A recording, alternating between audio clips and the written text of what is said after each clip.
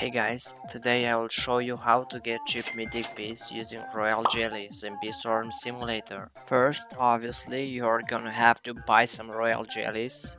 I will get 100,000. Also, maybe you should consider equipping honey mask for extra luck. Alright, now make these settings. Yeah, this should be good. Now pick a useless bee from your hive. This sound, I hate it.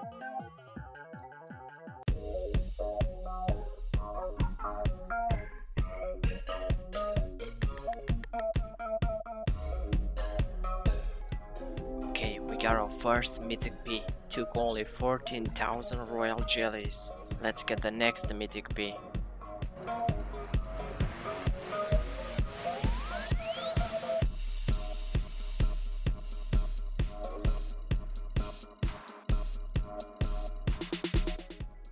Okay, that was fast.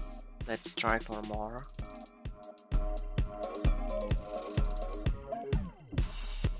Another buoyant bee. That's great. 5000.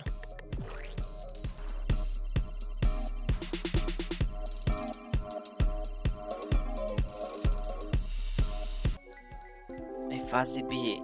Now this is where my luck begins.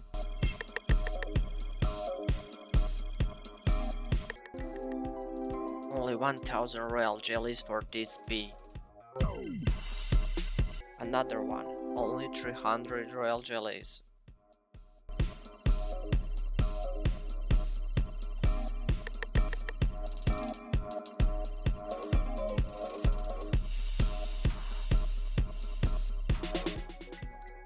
Vector Bee took 6000 royal jellies.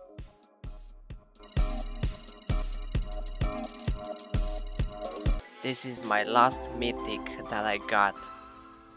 All the royal jellies are gone. I got 8 mythics in total, which is way more than rolling until mythic.